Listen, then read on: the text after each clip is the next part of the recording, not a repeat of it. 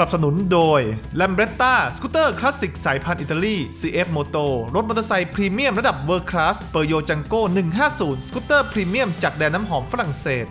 งานนี้เรียกได้ว่าสาย touring adventure นะครับ ต้องติดตามความเคลื่อนไหวกันให้ดี เมื่อล่าสุดมีกระแสข่าวว่าทางค่ายปีกนกฮอนด้าได้เตรียมที่จะเปิดตัว All New X ADV 800 รุ่นใหม่นะครับในช่วงปลายปี 2020 นี้รายละเอียดจะเป็นอย่างไรบ้างไปดูด้วยกันเลย นับตั้งแต่ Honda X ADV เวอร์ชันแรกเปิดตัวมาในปี 2016 นะครับ ในพิกัด 750cc ก็ได้รับกระแสการตอบรับเป็นอย่างดี เพราะถือว่ามันเป็นรถในแนวทางที่แปลกใหม่ ที่นำเอารถในแนว Big Scooter มาผสมผสานกับรถในแนว Adventure และโดดเด่นด้วยระบบเกียร์แบบ DCT ที่สามารถเลือกปรับเป็นแบบเกียร์อัตโนมัติเต็มรูปแบบ หรือว่าจะเลือกแบบชิปมือปรับขึ้นลงเองก็ได้นะครับทำให้ตัวรถนั้นมีการใช้งานได้หลากหลาย ทั้งในเมืองออกทริป และสามารถลุยได้ในระดับหนึ่งเลยทีเดียว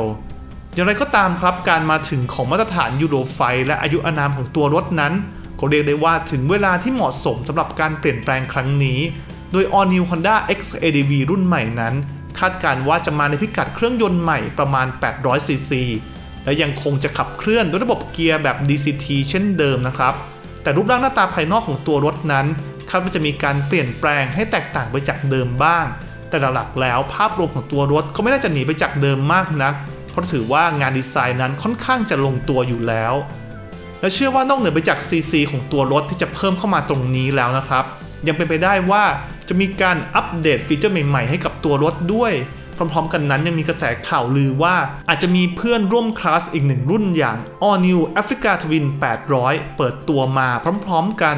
งานนี้ต้องจับตาดูกันให้ดีนะครับ ในช่วงปลายปีนี้ว่าจะเป็นอย่างไรบ้าง สนับสนุนโดย l a m b r e t t a สกูตเตอร์คลาสสิกสายพันธุ์อิตาลี CF Moto รถมอเตอร์ไซค์พรีเมียมระดับ world class Peugeot Django 150 สกูตเตอร์พรีเมียมจากแดนน้ำหอมฝรั่งเศส